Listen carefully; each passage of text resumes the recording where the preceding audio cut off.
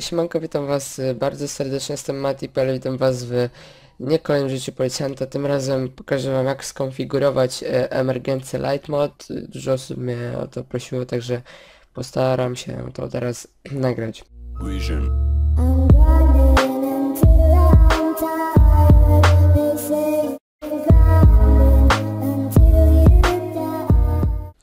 E, Pierwsza rzecz, że będzie troszkę ciężko to nagrać, bo Bandicam niestety nie nagra mi pulpitu, a ja muszę przechodzić i w pulpit i w grę. Ale jakoś sobie dam radę. Dobra. Mam tu Opla Insignia, stworzonego przez kumpla, czy oteksturowanego przez Toucha, czy mojego kolegę.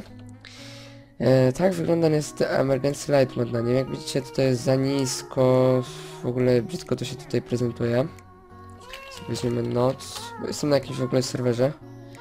O, weźmiemy sobie noc, będzie to lepiej widać. No i pod, czekajcie, pod J mamy tutaj białe światło, nie? Jak widzicie to mruga, tutaj jeszcze nawet ujdzie, nie? Ale tu niestety mruga brzydko. Więc zajmiemy się najpierw tym, ustawimy sobie w Oplu i myślę, że na razie tyle starczy, pokażę wam tylko na jednym radiowozie. Oczywiście config wam dam, także będziecie mogli tam go zmieniać, dam go wam w opisie. Czyli chcemy, żeby ta belka była po prostu mniejsza i była po prostu do góry, nie? Czyli tak, najpierw muszę sobie sprawdzić, yy, pod jaki tutaj sobie wgrałem mod mojego Opla, no to wiecie, sprawdzimy LS-a, tak, czyli jest pod LS-em, dobra. Już wiemy jak pracować, dobra, no to teraz przegry, yy, wyłączam nagrywanie i, i przechodzimy do pulpitu. Ok, także jestem już na pulpicie. Jesteśmy tutaj na jakimś polskim project, coś tam serwer. Ok, mamy nasz pulpit, teraz musimy zlokalizować nasze GTA. Wchodzimy tutaj w GTA, główny folder, dobra, teraz musimy wejść w o, Cleo LL i tu mamy vehicle. Dobra. Teraz szukamy modelu naszej radiolki, czyli Copcar LA, czyli tutaj mamy zlokalizowane. I tutaj mamy config, czyli tutaj są, jest config od naszej radiolki LA. Yy... Czekajcie. Ja sobie muszę tutaj wszystko przypomnieć. Żeby mi tutaj... Dobra. Main lights to mamy belkę, czyli górę. Strobe lights 1, czyli mamy tutaj włączone. Jak jest 1 to jest włączone, nie? E, To odpowiada za światła przednie. To chyba za światła tylnie. Tutaj mamy dodatkowe oświetlenie, czyli belka z tyłu taka pomarańczowa w Fire Tracku. Czekajcie, zaraz wam powiem. Mm, LEDy tył, tył, LA. Moment, moment, żebym się teraz tutaj nie pogubił. Ym. Tak, tu jest Fire Track. On ma wszystko połączone. To odpowiada za tylną belkę. E, belka przód, czyli main to jest belka, czyli te główne oświetlenie. Strop, czyli mamy LEDy, czyli to są LEDy z przodu. Eee, strop 2 to są LEDy z tyłu. I światło tyłu strop 3. Dobra. Czyli tu mamy włączone to. Main bike, belka. Tu mamy pozycję X, Y, Z. X, jeśli dobrze pamiętam, odpowiada za przesunięcie w prawo, w prawo chyba. Z, y, Y na pewno jest od góry, czyli góra. Mamy minus 40. Ustawmy sobie na 50. Plik, zapisz. Przejdźmy teraz do naszego GTA. Jesteśmy w naszym GTA. Odpalamy G. Jak widzicie, są chyba troszkę wyżej. Dobra. Ja podniosę trochę wyżej, nie będę tego wam pokazywał, podniosę, podniosę wyżej, wrócimy. Ok, podniosłem wyżej. Aha, czyli źle. Chociaż chyba podnios podniosłem się. Podnio podnio podniosły się. Zaraz sprawdzimy, wracam za chwilę. Ok, teraz podniosłem o aż o 20.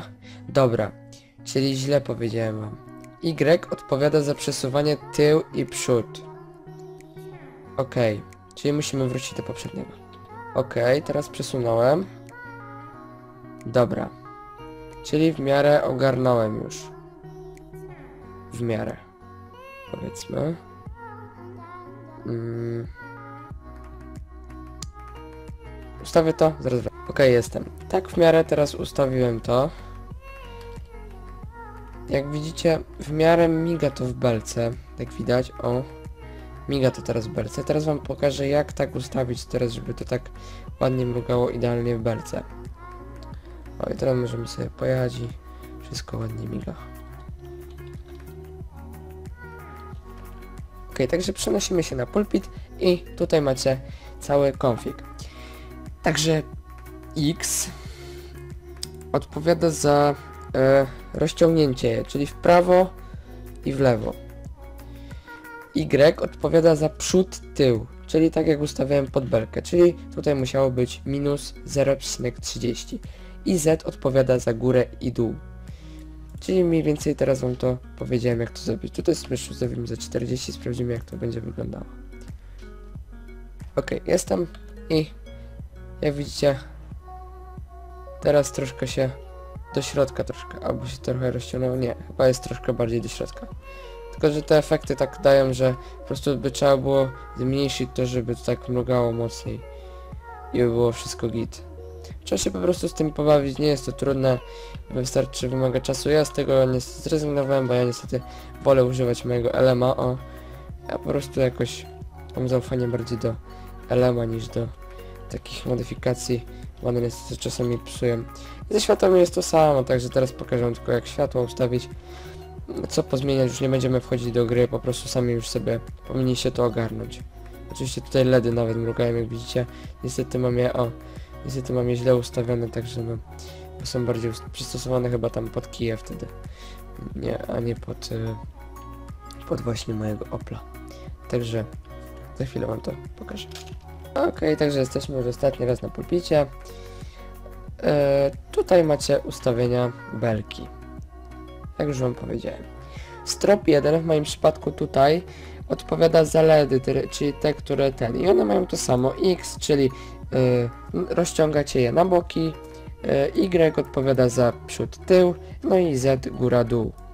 Czyli mniej więcej już wiecie. Ja nawet w sumie mogę tutaj napisać sobie X odpowiada za prawo i lewo.